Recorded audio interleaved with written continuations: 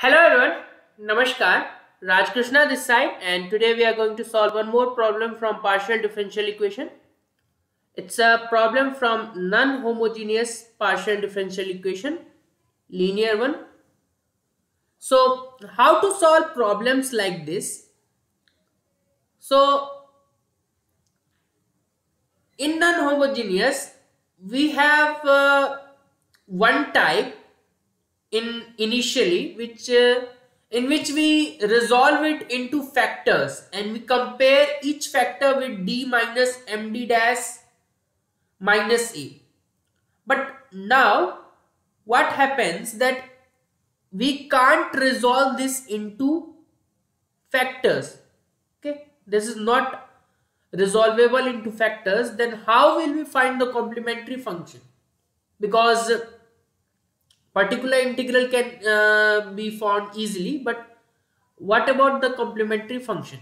So in this case we have a special thing that in this type of problems we find complementary function directly by this summation a e power hx plus ky now there must be any proof of this which uh, I'm not discussing here. But if they ask you to find complementary function in this type of problems where it is not factorable because d minus d dash square is not further factorable. So we can write if it is factorable then you can always compare with d minus md dash minus a. So you can get uh, the further and you know how to uh, solve problems like this. Here we write like this. Now where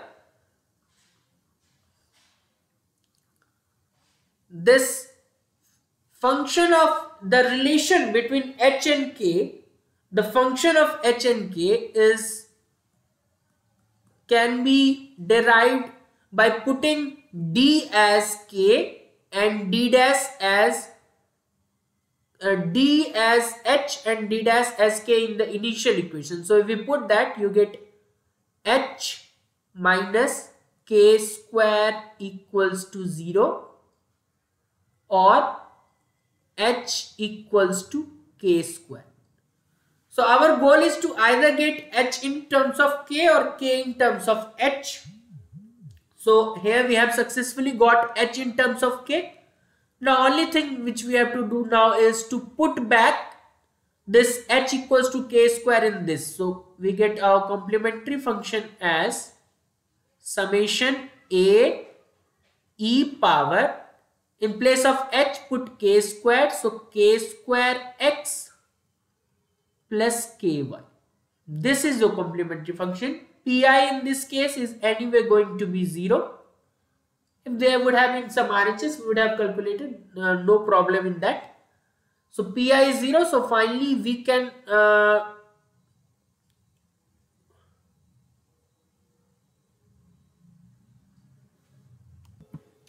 write as we always do z equals to cf plus of pi so your cf here is summation a e power k square x plus ky and pi is 0 so this is your final solution for this problem.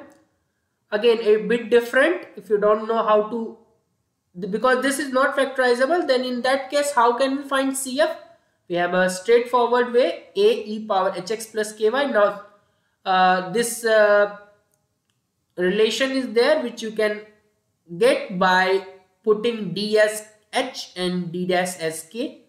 Find h or k in terms of each other h in terms of k or k in terms of h. Put them back and get your complementary function easily so that's it from my side. For more such problem, you can always watch my playlist on partial differential equation. That's it from my side. Thanks and have a nice day.